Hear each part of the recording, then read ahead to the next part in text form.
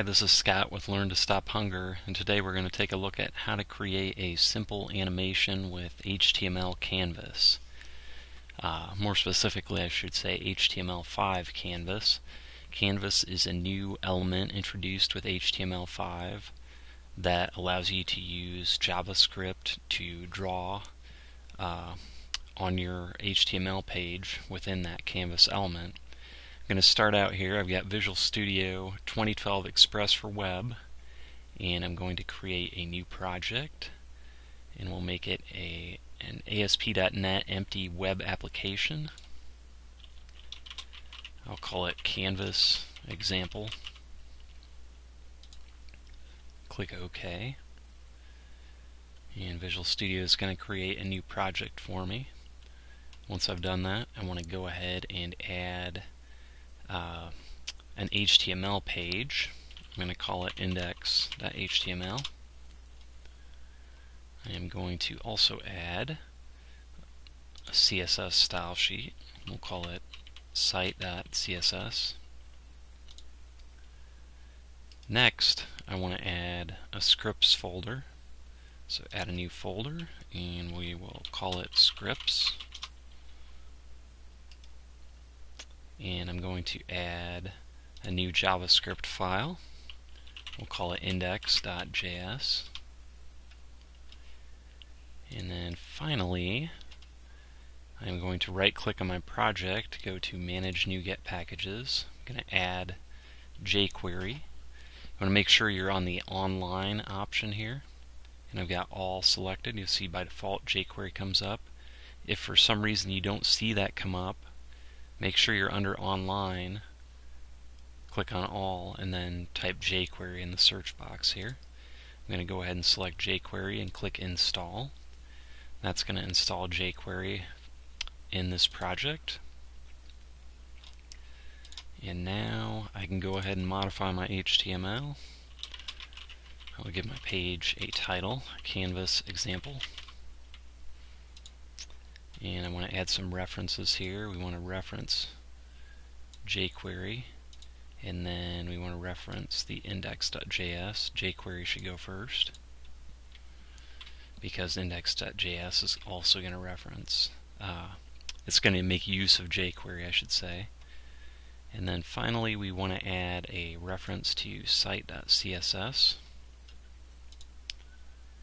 go ahead and save that let's see, the next thing I want to do for this page is to go ahead and I'll just add a paragraph so I've got some text on there. This is a test of the canvas tag. Alright, and then after that I will go ahead and add a canvas tag. This is a new tag added with HTML5 we will want to give it an ID so that we can reference that ID from JavaScript. And I'm going to go ahead and set a width and height on this thing. Width of 300 and a height of 100. Alright, once I've done that, uh, the next thing I want to do, I actually want to set up a style for my canvas. I just want to put a border around it. So what I'm going to do is use a CSS selector that points to the ID of my canvas. And we'll set up our border style. It's going to be one pixel all the way around. It's going to be solid and the color will be black. And that is all there is to that. Now we're going to look at our custom JavaScript here. The first thing we want to do is to add a reference to jQuery. And this kind of reference is only allowing for autocomplete for jQuery statements within this index.js file. After that, I'm going to declare a global variable that's going to store my context my canvas context and I'm going to set up a function to execute when my page loads here using document.ready, which is a it's a common practice for jQuery. I'm going to pass it an anonymous function.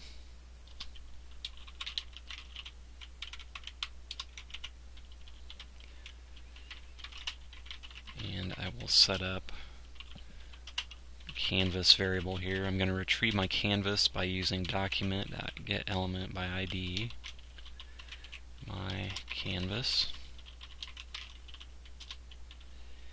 And we'll retrieve the context the canvas context. Context is the object that you actually use to do the drawing.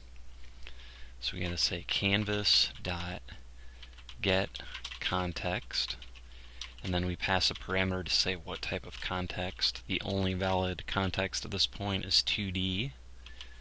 So I'm going to get a 2D context. And then I am going to add a call to a method that I have that draws a small rectangle. Actually, it's going to be a square. Draw a little square.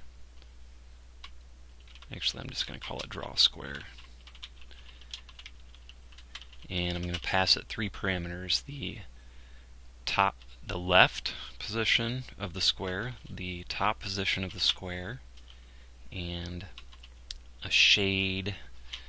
Um, actually it's going to be the uh, value of the green portion of the color. Now I'm going to define my draw square function like I said, it's going to take left, top, and shade as parameters.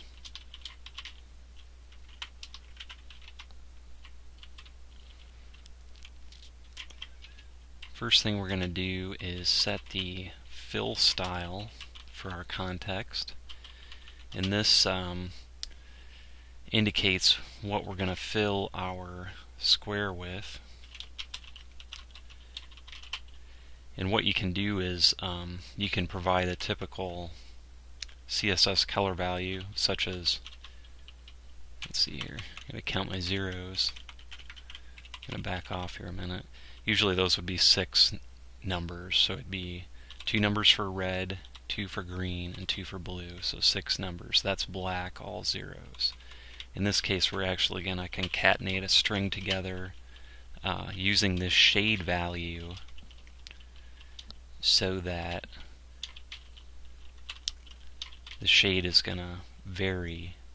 Um, what we're going to do actually, I should step back a minute probably, um, we're going to go ahead and do a simple animation where a line is drawn um, and each new line that's drawn will be a different shade until we completely fill up our whole canvas with lines we're going to keep incrementing this shade so that it gets a little bit lighter. So what I'm doing right here, I'm coming up with my green value based on the shade that was passed in and I'm doing some zero padding so that there's always a zero at the beginning if there needs to be. And then at the end of my string I'm putting double zeros for my blue value. Now the next thing that I'm going to do is to actually draw the square on the screen and that uses the fill style that I just provided before it.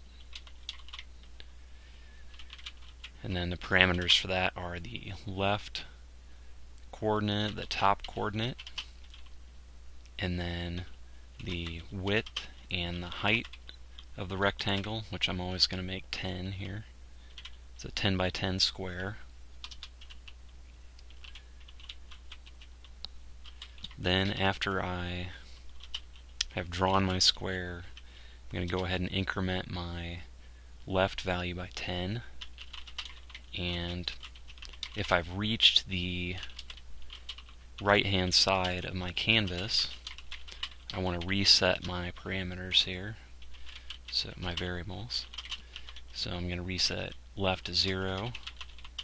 I'm going to increase the top value so that I go down to the next line. and I'm going to increase my shade value so that the next line is a little bit lighter shade of green. And the next thing I'm going to do is,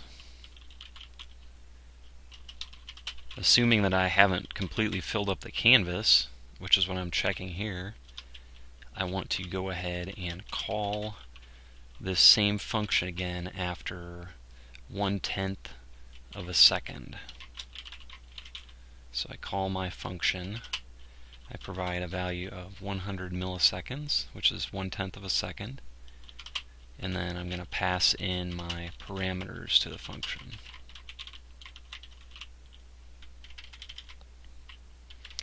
And I should be all set to go.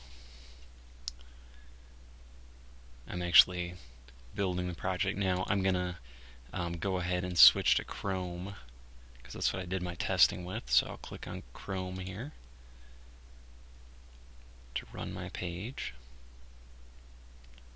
and it's going to load up using a local web server. And as you can see here, I've got my animation going where I'm actually drawing each line. I'm actually doing a bunch of little squares I'm drawing to the screen, but the way that I do it, it looks like a an animation of drawing a line. And then as you can see, each line uh, is a little bit lighter shade of green and that will continue until the canvas is completely full. And now it's all done. So that is a very simple example of how you can do an animation using the HTML5 canvas tag and that's only uh, you know the tip of the iceberg as far as canvas goes. There's so many things you can do with that. You can even um, I'm sure there are many complex games that are written using Canvas out there, so uh, you know, look for plenty of inspiration in those types of places as well.